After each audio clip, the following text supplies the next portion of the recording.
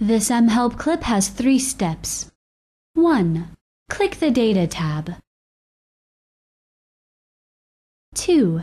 In the Outline group, click Show Detail. The data will be shown.